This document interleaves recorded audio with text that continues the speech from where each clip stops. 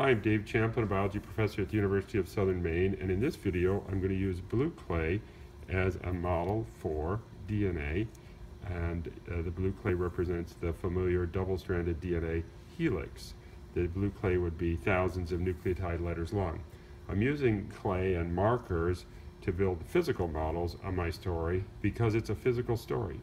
You should be confident you can understand this because you're looking and learning a physical story. The second reason I'm using clay and markers is because research on how students learn has shown that a powerful way for students to learn science concepts is for the students to make models. And so I'm encouraging you to get out markers and paint and clay and paper and build models as you learn these concepts. Each uh, species on Earth uses DNA as the primary heritable molecule. From our parents, we inherited all the DNA that we'll need. We got one genome from our mom, and we inherited one genome from our dad.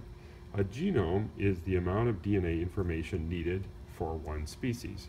So, one human genome from mom and one human genome from dad.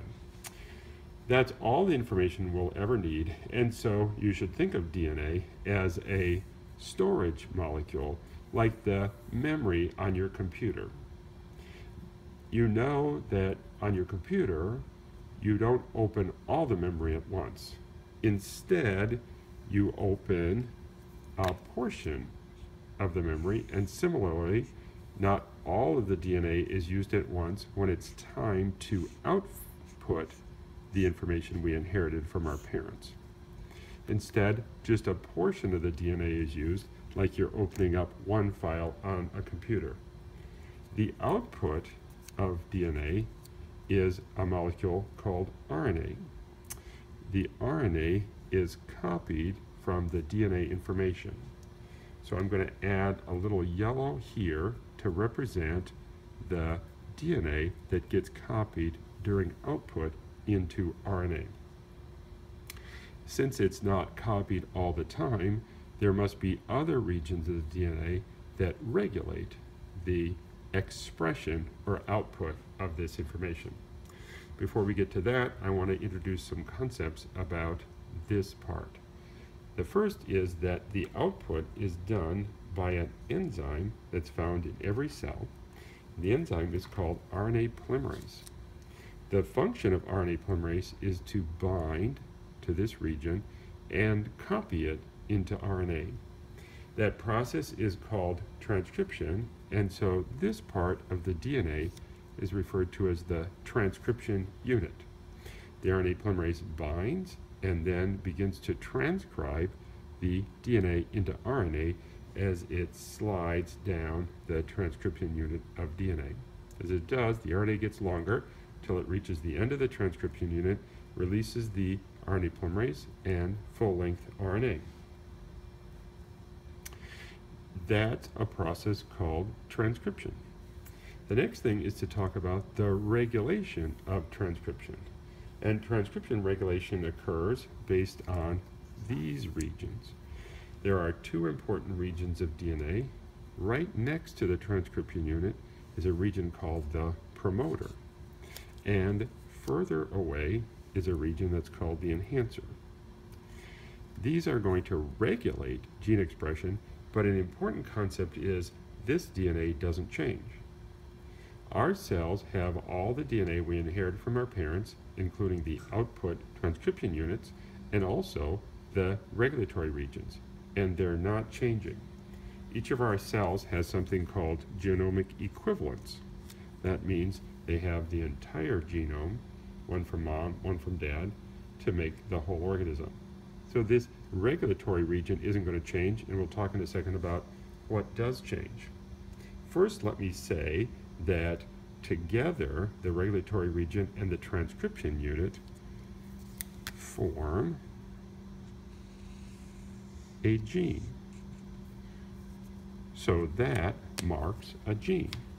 A gene is the output information, transcription unit, plus uh, the necessary regulatory region. In cells, there are just two kinds of genes. There are just two types of genes. One type of gene is called a coding gene. Coding genes code for proteins.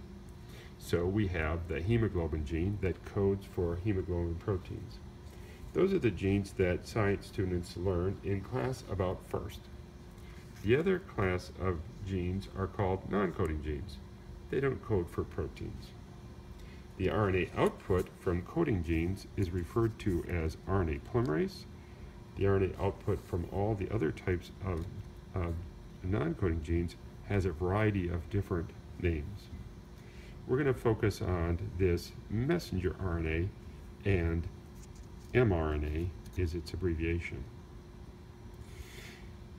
This is going to code for a protein and so part of the transcription unit is referred to as the coding region.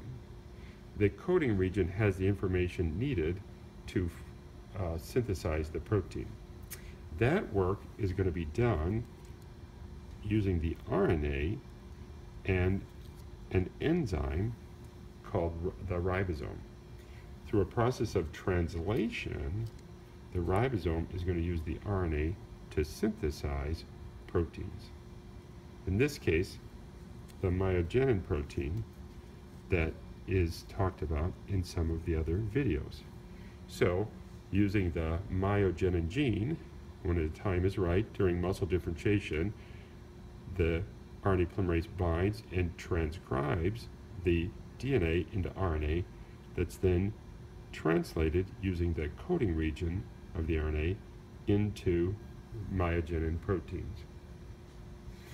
Next, let's just move some of these terms out of the way so we can talk about that regulation, and that's our last piece. The, I mentioned the promoter enhancer of a gene don't change. They're the same in each cell. The dynamic part of this story and the output, so for example, when you click on the computer to open the file, what that is, is proteins that bind to the enhancer and the promoter. These proteins are in the cell, and they're referred to as transcription factors. And there's a set of proteins in the cell that can bind to the promoter, and they show RNA polymerase where to start. There's another set of proteins, I'm going to use this example of MyoD that's used in other videos. The MyoD protein binds to the enhancer of the myogenin gene. Collectively, MyoD and these proteins are referred to as transcription factors. And transcription factors are a big part of the story because again, they're like the, your finger that pushes the button to open the computer file that you want to access. Transcription factors are the regulators that tell where, when, and how much of a gene to be expressed.